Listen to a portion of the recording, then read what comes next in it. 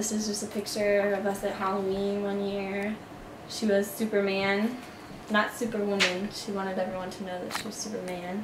She's the sweetest little girl. Earlier this semester, Webster University freshman Emily Stafford found out her six year old sister, Delaney, was diagnosed with cancer.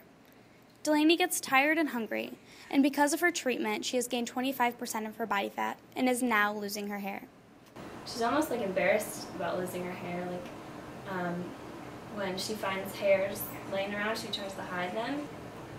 You know, we didn't think that that part would be that hard for her because she's such a tomboy, and she wears hats all the time anyways. It's just sad. Like she shouldn't have to go through that, and you know, it just makes uh, my heart hurts for her. Like she shouldn't have to.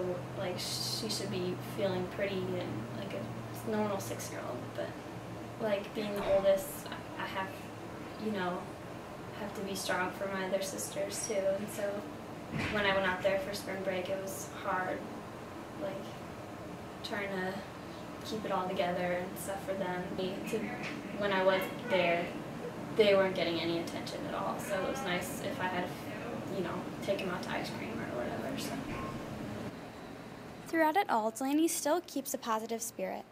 Before going into treatment, she requests a mustache be drawn on her face for when she wakes up. She didn't want to talk about it at all. And so I would sometimes run out of things to say, and she'd be like, boring, boring.